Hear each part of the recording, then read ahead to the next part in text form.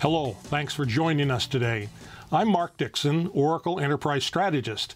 With me today is Ignacio Loureiro, Oracle Vice President of IaaS Named Enterprise. He will share his insight with us today. Welcome, Ignacio. Hi, Mark. How are you? I'm doing well.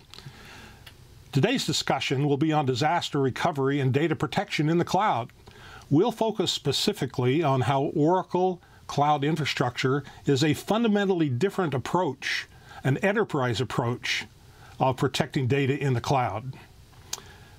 Ignacio, why is OCI, or Oracle Cloud Infrastructure, the ideal platform for backup and, and disaster recovery? Mark, Oracle spent 40 years, the last four decades, building enterprise software. Um, all of our R&D spend, and we're typically at the top of R&D spend for companies nationwide, and when you re-swizzle the list um, by revenue, we're all the way at the top, six, seven, or eighth, uh, depending on the year. All of that money that we spend goes into enterprise workloads. We don't build rockets, we don't build consumer products, that's all we do. That's been our focus for 40 years, and it continues to be our focus. So when we were looking at taking those uh, applications, those SaaS applications, those PaaS applications, our database that we have over 420,000 customers running, and moving that to the cloud, we realized something very quickly that those infrastructures, those applications, that software is focused and running people's business. It's running enterprises. An enterprise level public cloud simply did not exist. So partnering somewhere just didn't make any sense. We had to build it. Our customers required it. There wasn't another choice. So we went out and we started from the ground up, and we had a distinct advantage from other public clouds. We started late in the game, uh, and that gave us a, a, a couple of advantages. One is we got to see what was happening in the public space, how things were scaling, what was working and what was not. So we took some of the things that worked and, and incorporated it into our space, but then we took the very unique requirements that our customers have for enterprises and developed that into the public space, into public cloud. So it's betting your business your enterprise on a public cloud that can actually support enterprise. That's correct, and focused on enterprise. And this is, this is very important. So I'll give you a couple of examples of what we do. So for example, in our public cloud, um, we encrypt everything. We encrypt everything at rest, we encrypt everything at transit, everything, 100%. But more importantly, not only do we encrypt it, we take those encryption keys and we turn them back over to our enterprise customers so they manage it. So an enterprise can be confident that their data is secure and they are in control. That is correct. So those keys they own, they put them into their control, their governance, their processes, their run books, and they do with it exactly what they did in their enterprise, but only in the public cloud. So why does this make OCI the ideal platform for data protection and disaster recovery? So the encryption and the keys are one uh, good example. The other is that in an, uh, in an enterprise environment, um, speed is important, and speed in public cloud is important, but more importantly for an enterprise is predictability. So you have to be fast, but you have to be predictably fast. And that's a very, very, very, very big differentiator for enterprise.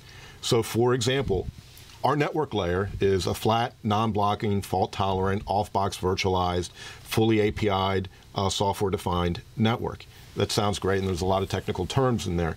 What that really means is that it's fast, at 6 o'clock on Tuesday and 1 o'clock on Sunday and every minute in between. So if you take a look at, um, uh, at our latency rates across our entire network, not only are they very, very fast and very, very uh, comparable, if not better, to most public enterprises, they're probably equal to what you're used to in an enterprise space in non-public cloud. Mm -hmm. But the most important part about it is, if you look at the, the uh, latency graph chart for our public cloud network, is there's hardly any uh, peaks and valleys. I mean, it is flat. The patient is dead, um, and it is it is that way all the time. We do the most important thing in that environment is we do not oversubscribe. Well, that's great, and so it's a great fundamentally enterprise-focused platform. Now. the disaster recovery and data protection is not just about storing away your data in a vault, but actually using that in a more effective way. Is that correct? Right. So, so yesterday um, and in the past, it was all about RPO and RTO. So I'm going to take this data and I'm going to find the best vault, as you said, uh, to put it in. And the evaluation was, you know, is this vault better than that vault? Is this vault easily accessible? Is that vault not? Do they encrypt this vault? Do they not? And there was all a bunch of stuff uh, revolving around RPO and RTO. And it was just getting my data somewhere and then the ability to get my data back and then restore it. And then there's some nuances about, you know, whether it's hot or cold or warm or, or other things. But that, that was the discussion layer. Data really is the new currency. And for today, that's just not enough. That's just step one. Um, step two is then what, what if I want to stand up that data somewhere else? And I want to do it very quickly, for example, in a cloud methodology. Um, if you take that data and you store it in a public cloud, one that's secure, one that you have encryption keys for, um, and now you want to recover it rather than bringing the data back, you want to stand up a compute instance in the cloud, you can do that in OCI. And it's very easy. And most importantly, you consume that in the Elastic Cloud way. So when you um, stand up that instance, you pay for it. When you don't, you don't.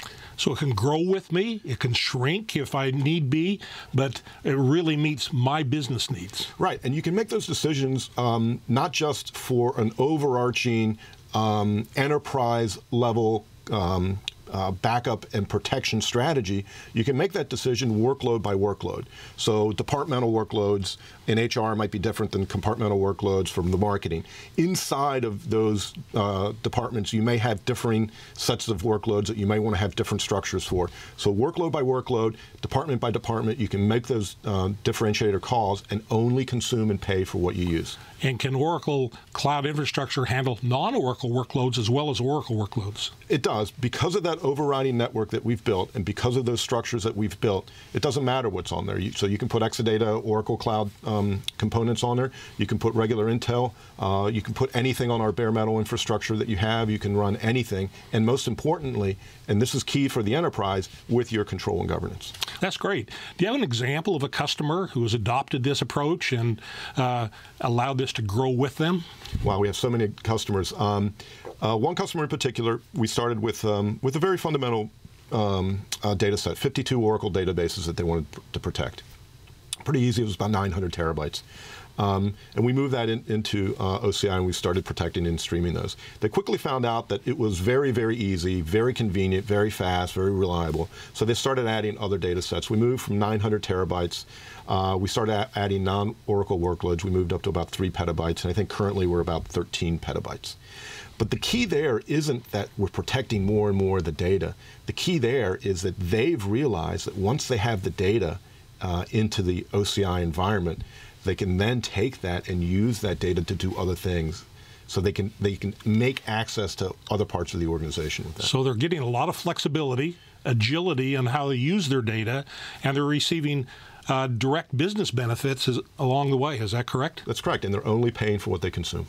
Data as the currency, and what are you going to do with it? Data is the currency, and it starts with step one, data protection.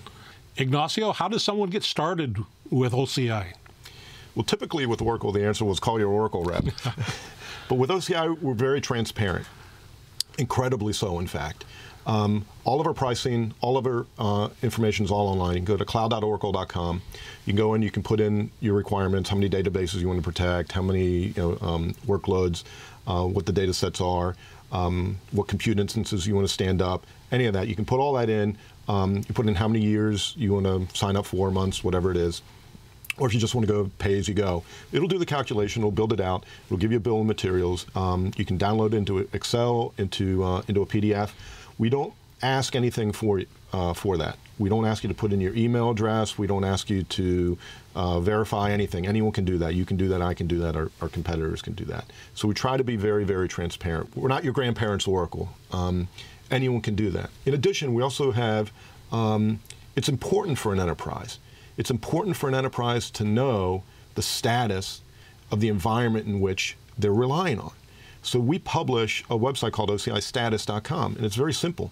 It gives you real time, to the second, updates on what is going on in an entire worldwide environment. So all of North America or Europe or Asia Pac, uh, all of the environments are on there. You can go to the upper right hand corner, you can put in a telephone number or your email address. Um, and you'll get alerts, real-time alerts, when something is, is, is happening, whether it's a minor issue, a critical issue, when the root cause. Um, and again, anyone can do that. Well, thank you, Ignacio. We appreciate your insight and teaching us about Oracle Cloud Infrastructure. It was a pleasure talking to you. Yeah, thank you. Thank you.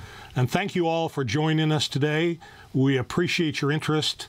We hope that whenever you think about data protection, disaster recovery, and really using your data, you will think of enterprise Oracle Cloud Infrastructure. Thank you.